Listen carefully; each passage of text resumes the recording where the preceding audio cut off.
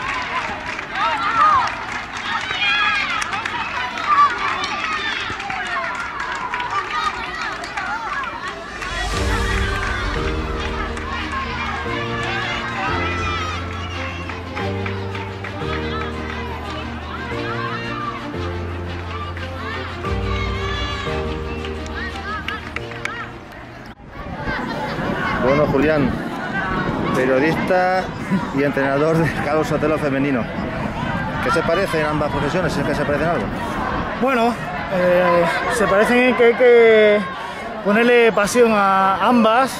Eh, cada día es diferente, cada día te encuentras una cosa nueva, cada día tienes que seguir mejorando, cada día tienes que, que seguir aprendiendo y se parecen eso. Eh, desde que empecé en, en esta profesión de periodismo siempre quise saber más y aprender más y creo que, que lo importante en este momento es eh, que cuando era periodista quería aprender por qué el fútbol, quería saber por qué eh, no les preguntaban a los entrenadores eh, preguntas de fútbol y no, y no preguntas de lo que había alrededor. Y, y por, eso, por eso decidí hacer, serme entrenador. Además, el fútbol es una de las cosas más bonitas que hay, se ve en cada día, en cada entrenamiento, eh, cómo, cómo van creciendo, cómo van mejorando y eso yo creo que es muy importante. El último partido de despedida, un partido no brusco, pero sí con mucha tensión. No sé si había cuestiones pendientes o...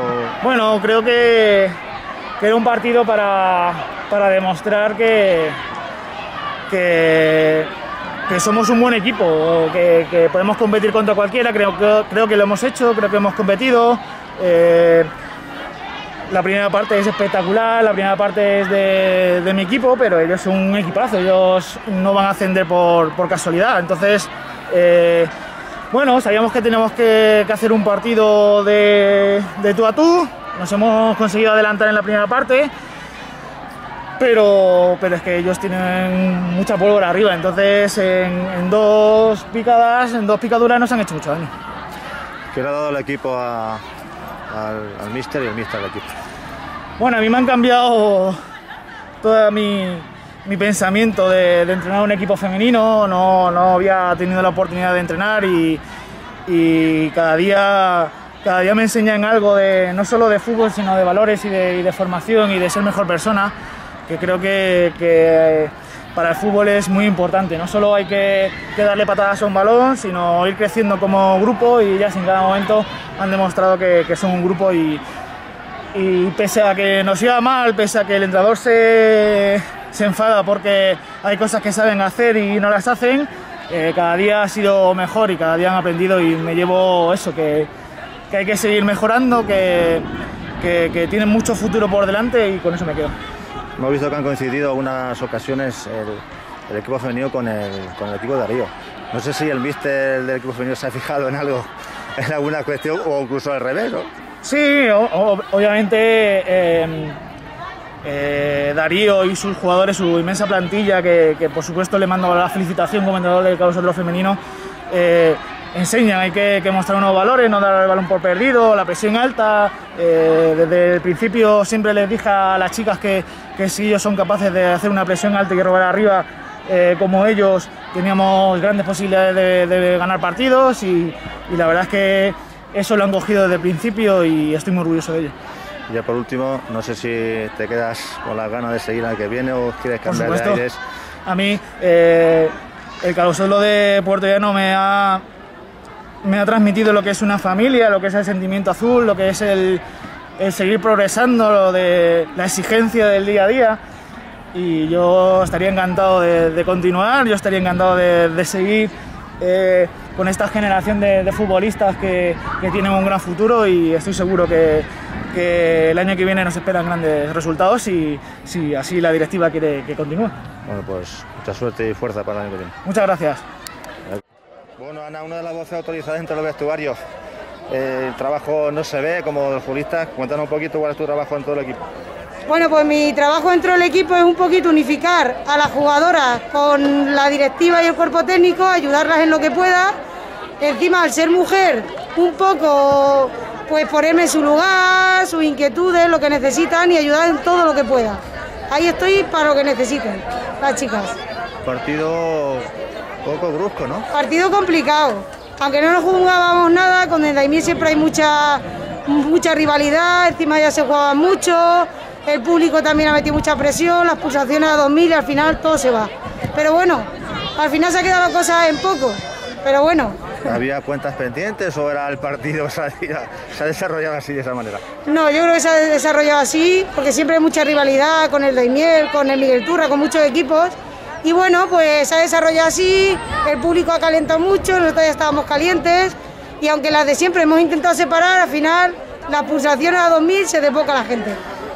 Una temporada complicada, ¿cómo lo ha vivido el equipo? Tú en particular por tener una profesión tan un poco ligada a esta situación. Pues hemos sufrido mucho al principio porque no sabíamos cómo se iba a desarrollar la cosa, si íbamos a poder entrenar, si iba a haber liga y qué.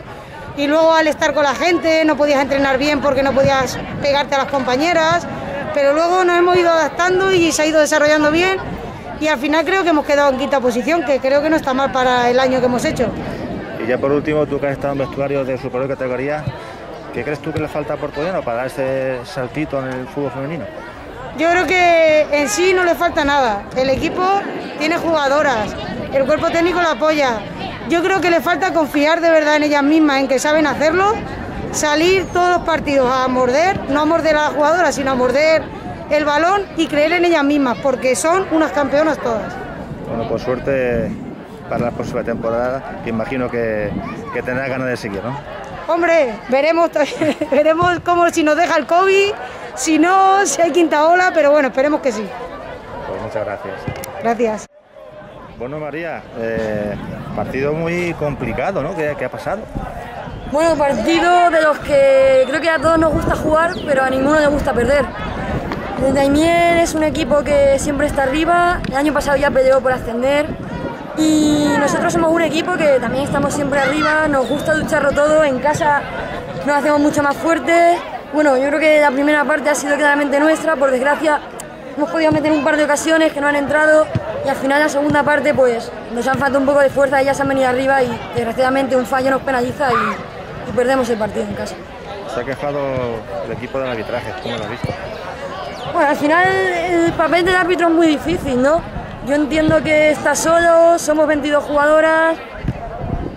Bueno, al final es fútbol, las decisiones se toman en el momento. Yo creo que no podemos excusarnos tampoco en el árbitro. Nosotras creo que hemos podido hacer mucho más, sobre todo la segunda parte apretar. Y bueno, ya está, no, no creo que la culpa sea de árbitro, la verdad. Como una de las capitanes del equipo, ¿cómo habéis vivido esta situación tan complicada la temporada? Pues muy complicado, sobre todo al principio, la incertidumbre de no saber si se va a poder jugar, si no se va a poder jugar. Al principio incluso nos daba un poco de respeto estar juntas en el vestuario, manteniendo distancia y demás, pero una situación bastante difícil.